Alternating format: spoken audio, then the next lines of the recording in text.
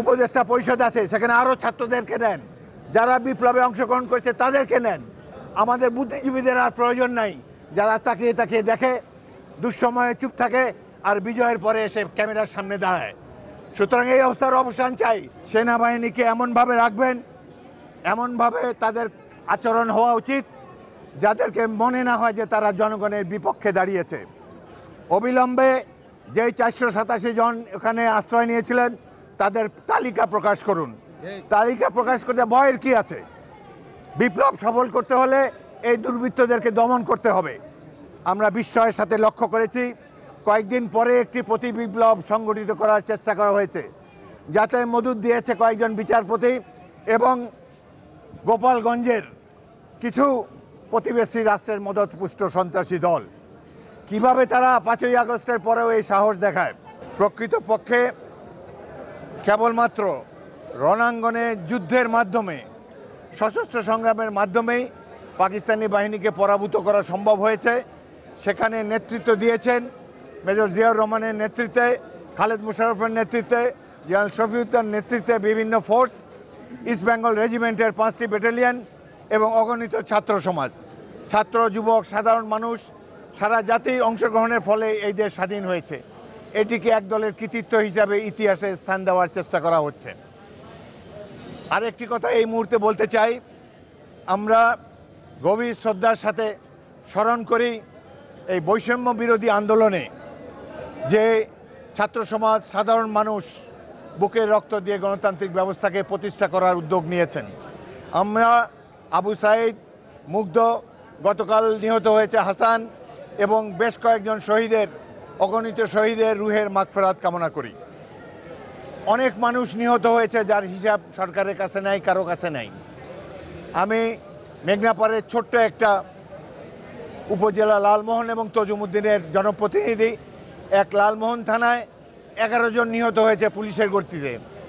পুলিশের গুলিতে এগারো জন নিহত হয়েছে, এর মধ্যে একজনও ছাত্র না। এরা শ্রমিক, সাধারণ মানুষ, খেটে খাওয়া মানুষ। তাহলে কত মানুষ যে শহীদ হয়েছে, চারশো ষাটটি উপজেলায় এটি আপনারা কল্পনা করে দেখতে পারেন। এ যারা যারা এই আন্দোলনে শহীদ হয়েছেন, চক্ষু হারিয়েছেন, অঙ্গ হারিয়েছেন, তাদের পরিবার লক্ষ্য, পরিবারকে লালন পালনের জন্যে আমি সরকারের প্রতি অনুরোধ জানাই, কারণ এদের এদের ত্যাগের বিনিময়ে আপনারা গাড়িতে পতাকা লাগিয়েছেন। এদের ত্যাগের বিনিময়ে আজকে বাংলাদেশ মুক্ত হয়েছে। দুঃখের বিষয়, তারা হাসপাতালে সঠিক চিকিৎসাটি পাচ্ছে না। আমাদের এই মুক্তিযোদ্ধা দলের পক্ষ থেকে আমরা প্রত্যেকটি আহত, নিহত এবং এই আন্দোলনে যারা সরাসরি অংশগ্রহণ করেছেন সেই সব পরিবারগুলোর দায়িত্ব সরকার নেবে, এটাই আমরা আশা করি।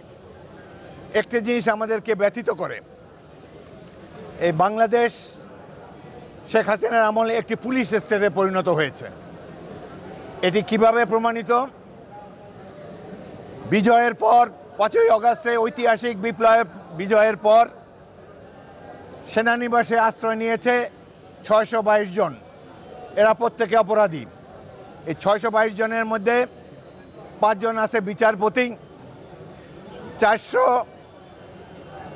সাতাশি জন পুলিশ কর্মকর্তা। এই চারশো সাতাশি জন পুলিশ কর্তা কেন সেনানিবাসে গিয়েছে গিয়েছে তারা জনগণকে হত্যা করে সেখানে আশ্রয় নিয়েছে। বাংলাদেশ সেনাবাহিনী একটি ভুল কাজ করেছে।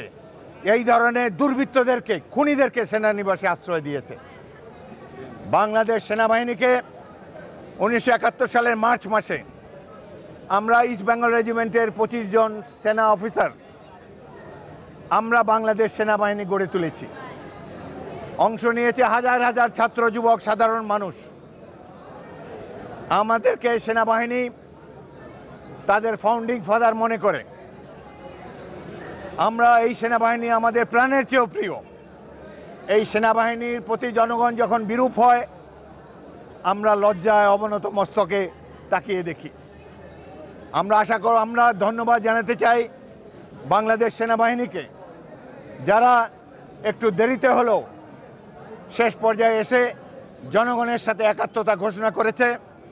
এই আন্দোলনের সাথে সংশ্লিষ্ট হয়েছে এবং স্বৈরাচারী শেখ হাসিনাকে দেশ থেকে বিতাড়িত করেছে। তাদেরকে অভিনন্দন জানাই। সাথে সাথে এইটুকুও বলব, বিপ্লব কিন্তু সম্পূর্ণ হয় নাই। এখনও বিপ্লব থমকে আছে। পুলিশি স্টেট যারা নির্মাণ করেছে বাংলাদেশকে, যারা হাওয়া ভবনের মতো একটা ঘৃণিত প্রতিষ্ঠান গড়ে তুলেছে, বহু মানুষকে নির্বিচারে গুম করেছে, হত্যা করেছে তারা সকলেই বহাল তবিয়তে যারা আওনা ভবর যারা আয়নাঘর নামে একটি নির্যাতনকারী টর্চার সেল বানিয়েছে।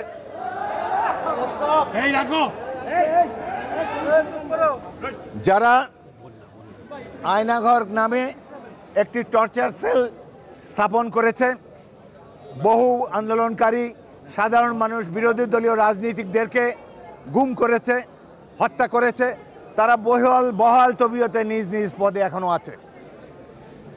প্রত্যেকটি জেলায় পুলিশ কর্মকর্তারা আগের মতোই আছেন। তারাই আওয়ামী লীগের দুর্বৃত্তদেরকে আশ্রয় দিয়ে রেখেছেন।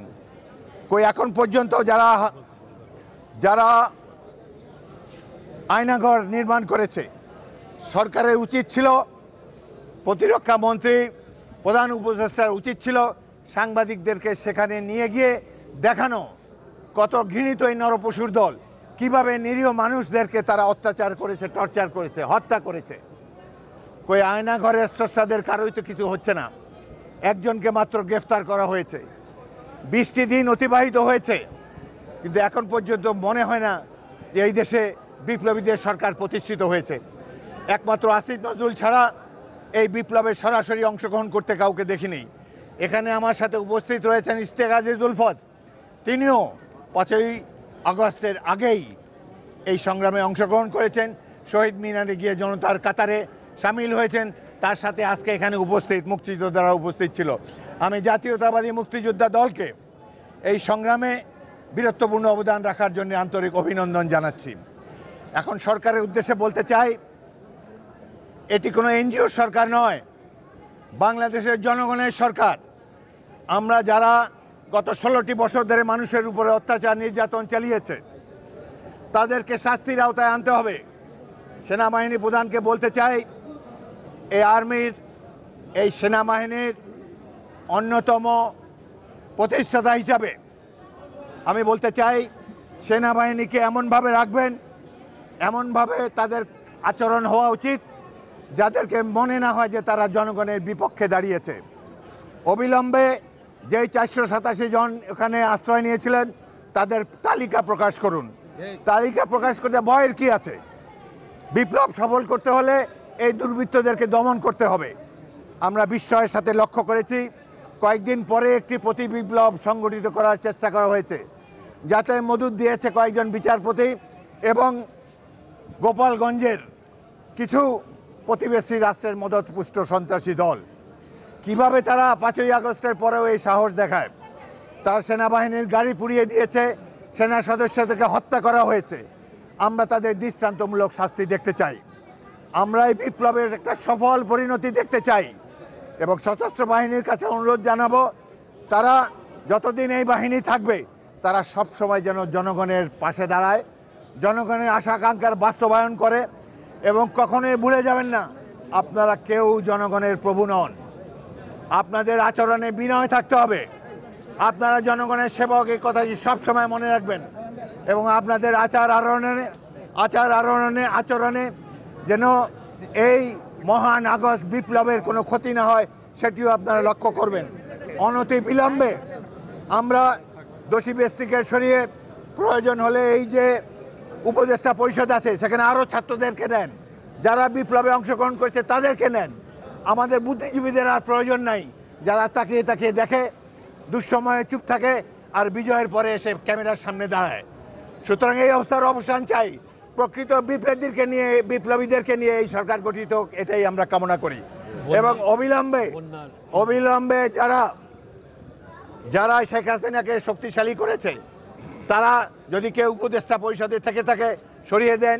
প্রশাসনে যারা আছে, সরিয়ে দেন। বিপ্লবকে নিজের গতিতে চলতে দেন এবং আপনারা কেউ ভাববেন না যে বিজয় অর্জিত হয়ে গিয়েছে। পাশের দেশে বসে শেখ হাসিনা অনেক ষড়যন্ত্র করবে। সুতরাং আপনারা সজাগ থাকবেন।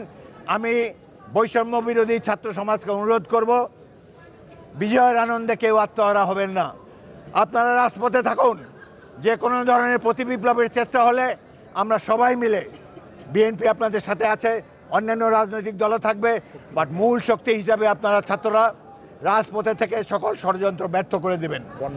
এখন বন্যায় এগারোটি জেলার জনগণ ভাসছে কিন্তু আমি অত্যন্ত আনন্দের সাথে লক্ষ্য করেছি অতীতে যে কোনো সময়ের চাইতে বেশি সাড়া এবার সাধারণ মানুষের দিয়েছে বন্যার্থদেরকে সহযোগিতা প্রয়াস করার জন্য। আমি আসার সময় দেখলাম বিভিন্ন জায়গায় ছাত্রীরা বিশ্ববিদ্যালয়ের ছাত্রীরা গাড়ি থামিয়ে টাকা নিচ্ছে। এইটাই হলো বিপ্লব। এটি হলো জনগণের সমর্থন এবং এই আগস্ট বিপ্লবের লক্ষ্য পূরণের জন্য আমরা এই অন্তর্বর্তীকালীন সরকারকে সাহায্য সহযোগিতা দেব। কিন্তু তাদেরকে বিপ্লবের মর্মবাণী উপলব্ধি করতে হবে। যারা বিপ্লবে অংশগ্রহণ করেছে তাদেরকে নিয়ে আপনারা সরকার পরিচালনা করুন। আমরা আপনাদেরকে সময় দিতে চাই। কিন্তু আপনাদের লক্ষ্য থাকবে গণতন্ত্র প্রতিষ্ঠা। এবং নির্বাচিত প্রতিনিধিদের কাছে ক্ষমতা হস্তান্তর। আপনাদের সবাইকে অসংখ্য ধন্যবাদ। আল্লাহ হাফেজ বাংলাদেশ জিন্দাবাদ।